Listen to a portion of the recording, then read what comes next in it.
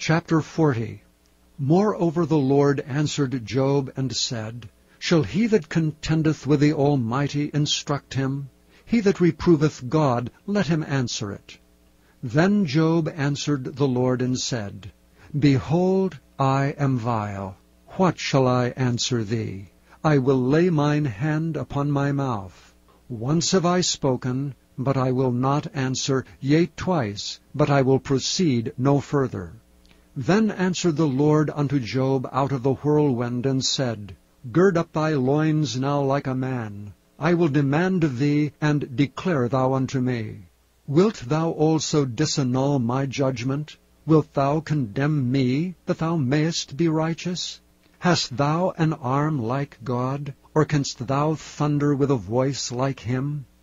Deck thyself now with majesty and excellency, and array thyself with glory and beauty. Cast abroad the rage of thy wrath, and behold every one that is proud, and abase him. Look on every one that is proud, and bring him low, and tread down the wicked in their place. Hide them in the dust together, and bind their faces in secret. Then will I also confess unto thee that thine own right hand can save thee. Behold now Behemoth, which I made with thee, he eateth grass as an ox. Lo now his strength is in his loins, and his force is in the navel of his belly.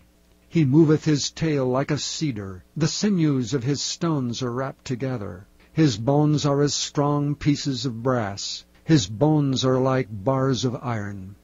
He is the chief of the ways of God. He that made him can make his sword to approach unto him. Surely the mountains bring him forth food, where all the beasts of the field play.